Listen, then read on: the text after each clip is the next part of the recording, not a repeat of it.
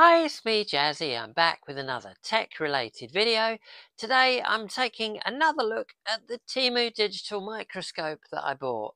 You may remember I was a little bit disappointed with some aspects of the microscope. Mainly the limitations were the base. You couldn't fit a decent sized PCB in there. There wasn't enough depth and there wasn't much in the way of height to work either there was more focal length than there was room on the base. So I made a subtle modification. And when I say subtle, I mean I took it apart. If the limitation was in the base, I figured let's just lose the base. Honestly, it looks worse than it is. It literally just screws together with a few crosshead screws and some plastic clips, so it's fully reversible. But I don't think I'll ever go back. I did find on the stand okay, it was kind of useful for looking at components and stuff and small PCBs from phones and tablets, but it had so many limitations. I thought it's got to have a bit of potential without spending any more money on it.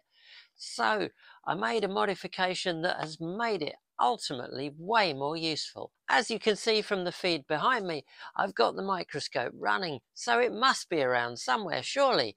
And yes, it's right here.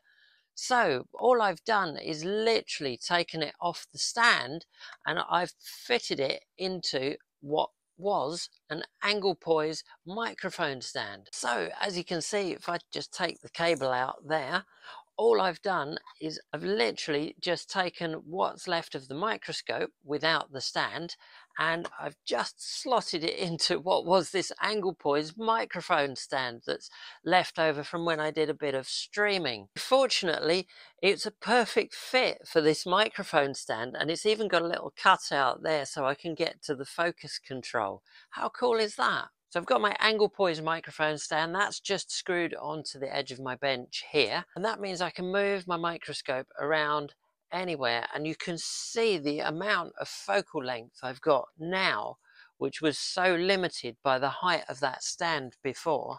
So you can see from the stand that I've removed how much we had initially. Now look, we've got all this headroom. It's amazing. And as you can see, I can move that around really easy with the Anglepoise. So I can get to anywhere. I can move my PCB around or whatever I'm working on. This is an amplifier module from a disco speaker that I'm working on, which has a problem with the high frequency amplifier circuit. There you go, just got to adjust the focus. But if you want to get right in to look at some surface mount stuff, then you can do that. I've got a nice big powerful light along the top here, which again is adjustable. I can move that around. So you can never have too much light above your working area. I just think this is now really useful.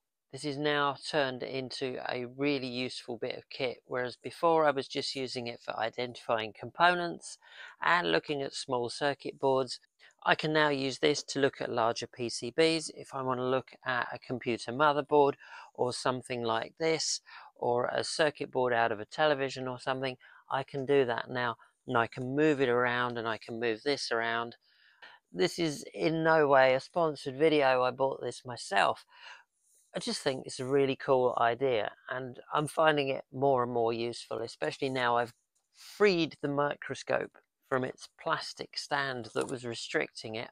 I'm amazed actually how far away I can get and still get a focus. That's about on its limit now of how high you can get it and still get a decent focus. I was reasonably happy with the microscope when I got it, especially for the price, but I was very disappointed by the stand and the quality of it and it was difficult to wind it up and down. It was just very clunky and horrible. So top tip, if you want a cheap microscope that you can move around and look at stuff without spending a fortune, then get a cheap digital microscope. There's loads of them around on Temu, Wish, AliExpress, anywhere like that. And get yourself some sort of stand or arm, and there you go. You've got a completely flexible digital microscope solution. You can't say fairer than that. What a brilliant way of doing it.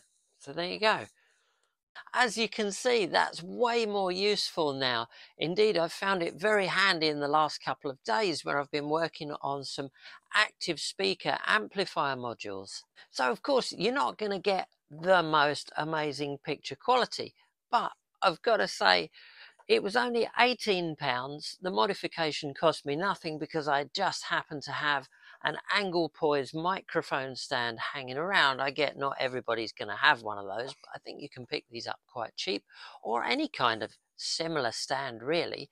Just means I can move that microscope about I'm not limited by the base and I can get a big PCB under there. I've got a greater working height and I can also get right down in if I want to look at some surface mount stuff for example. So that was just a quick little follow-up on the microscope. I thought that was too good not to share. I certainly found it a lot easier working on these PCBs in that I'm able to zoom right in and get component numbers and have a look for any iffy components, especially like these modules where you've got a mixture of through-hole and surface mount components. So yes, highly recommended. Unlike these little handheld digital microscopes that you can pick up, they're around five or six pounds.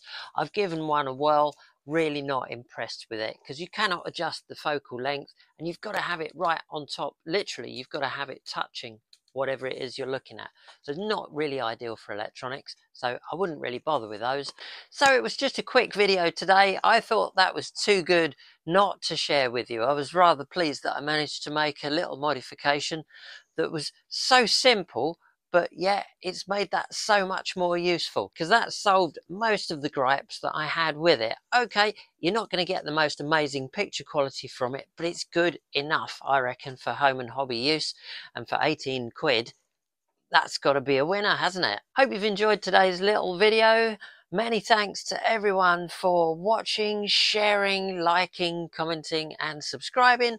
I always appreciate it greatly. I'll be back soon with some more videos on test gear repairs, retro gaming, and electronics kits. So, in the meantime, take care, and I'll see you on the next one.